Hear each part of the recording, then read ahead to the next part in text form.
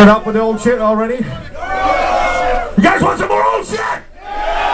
This song's called Trespass!